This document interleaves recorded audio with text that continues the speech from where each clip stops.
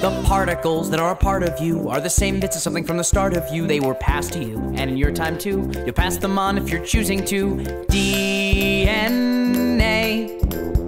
It's a secret code of a list of facts, and that list leads to how a person looks and acts, how the sun impacts, if their knuckles crack, or if their pearly whites are partial to a plaque attack. DNA. Every human being, there are three billion pairs of DNA found in your skin, blood, and hairs. And I don't mean to scare, but if a bunch weren't there, you'd find yourself in trouble double twice then squared. It's DNA. DNA. Deoxyribonucleic acid is another way to say DNA.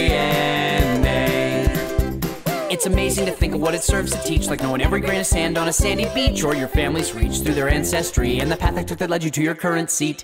DNA. DNA.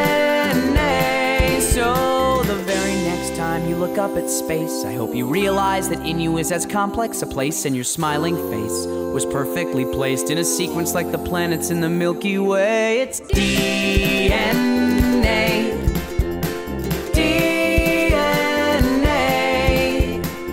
Deoxyribonucleic acid is another way to say DNA.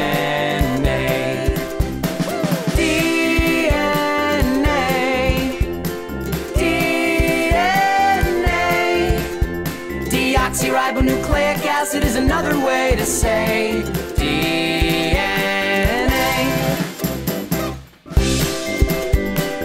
Thank you for watching Sung Science, and remember to subscribe.